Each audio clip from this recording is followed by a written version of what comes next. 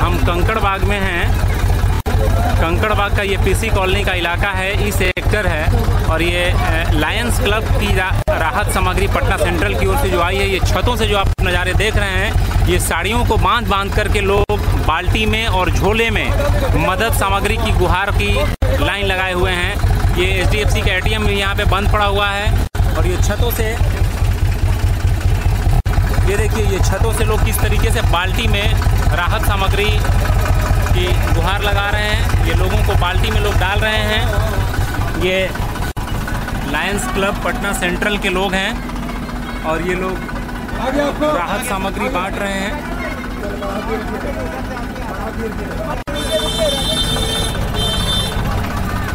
ये देखिए रिक्शा वाला भी मदद की सामग्री मांग रहा है। ये तमाम सारी परेशानियों में लोग जीवन गुजारने को मजबूर हैं। ये झोला लगा करके लोग मदद के लिए यहाँ पे पहुँचे हुए हैं।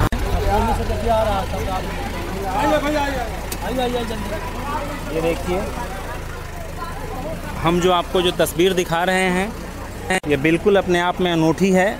जिंदगियाँ तबाह हो चुकी हैं, संघर्ष का रेला लगा हुआ है। कंकल कंकड़बाग के मलाही पकड़ी के पास घुटने से अधिक तक का पानी जमा है।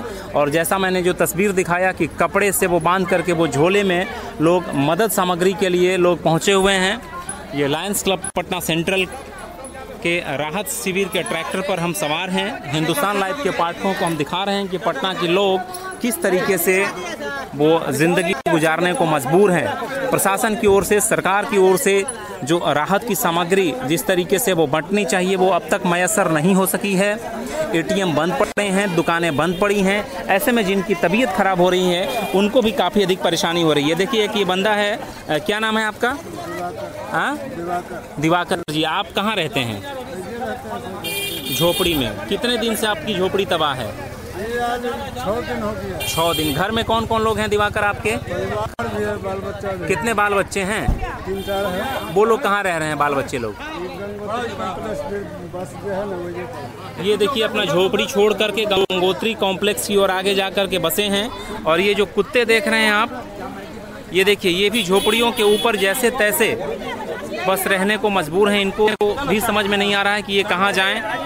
और ये ज़िंदगी बहुत ही जद्दोजहद में लोग जैसे तैसे आने को मजबूर हैं।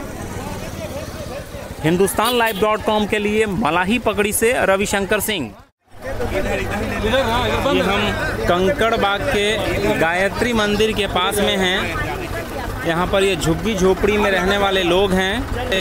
और इन लोगों के लिए प्रशासन की ओर से और विभिन्न स्वयंसेवी संगठनों की ओर से ये राहत सामग्री बांटने का काम ये चल रहा है। ये देखिए, पुलिस वाले ये ट्रैक्टर पर वो दूध के पैकेट और पानी की बोतलें लोगों को यहाँ पर वो दे रहे हैं। सभी लोगों को ये देखिए, जैसे ही इनको राहत को मिल रही है। इनका वो हजूम जुट रहा है लोगों का। ये पूरी ज़िंदगी एक तरीके से वो तबाह हो चुकी है। हम जिस ट्रैक्टर से वो चल रहे हैं, वो लायंस क्लब पटना सेंट्रल के लोग हैं और इन लोगों ने, इन लोगों ने अपने वो ट्रैक्टर पर वो लेकर के लोगों को राहत सामग्री ये बांट रहे हैं।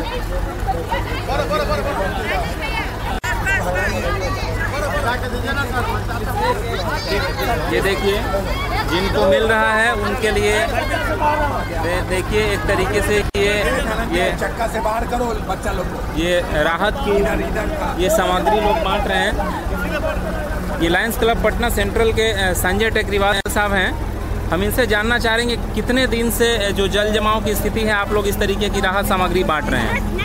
हम लोग कल से बांट रहे हैं राहत सामग्री अ, कितने लोगों को अब तक आप लोगों ने बांटा होगा क्लब की ओर से? अब तक कितने लोगों को आप लोगों ने राहत पहुंचाई है? कल हम लोग तीन सौ आदमी को बांट रहे हैं आज चार सौ का एवरेज हम लोग ये बता रहे हैं संजय जी कि कल तीन सौ आदमी को बांटे हैं और आज 400 लोगों के लिए इन लोगों ने वो राहत के पैकेट वो तैयार किए हैं। ये जो तस्वीरें आप देख रहे हैं ये देखिए बहुत ही विकराल तस्वीर। ये गायत्री मंदिर रोड है। ये देखिए ये जो ज़िंदगी बहुत ही कठिन डगर एक तरीके से इसको कहिए। ये पीसी कॉलोनी का इलाका आता है, ये कांग्रेस मैदान है। माफ़ करेंगे, रेनबो मैदान इसको बोलते हैं। और पाटलिपुत्रा स्पोर्ट्स कॉम्प्लेक्स के पीछे का इलाका पूरी तरीके से जलमग्न हो चुका है। ये बहुत सारे यहाँ पे वो खटाल थे, जिसमें बहुत सारे वो जानवरों का भी नुकसान हुआ है। लोगों के घरों में अभी भी वो पानी घुसा हुआ है। लोग जैसे तैसे वो घरों से वो निकल करके राहत सामग्री के लिए वो ये पहुँच रहे हैं। ये देखिए वो ट्रैक्टर देखते ही लोग ये पहुँच रहे हैं। आराम से आराम से आराम से। ये देखिए। आराम से आराम से। ये इन लोगों को ये देखिए ये जुगाड़ तंत्र के सहारे वो वो बाल्टी लटका करके लोग मदद मांग रहे हैं। हो गया ना? चलो चलो बढ़ो धीरे धीरे बढ़ो। बढ़ो बढ़ो बढ़ो। ये देखिए ये पटना के पीसी कॉलोनी में हम हिंदुस्तान लाइव डॉट कॉम के लिए अपने पाठकों को दर्शकों को वो दिखा रहे हैं कि पटना के जो हालात हैं जल जमाव के वो किस कदर दर्दनाक हो चुके हैं। स्वयंसेवी संगठनों ने अगर सच कहें तो बहुत ही राहत पहुंचाई है और एक तरीके से समाज में जो मैसेज जो जाना चाहिए उसको दे पाने में वो लोग सफ- सफल हुए हैं।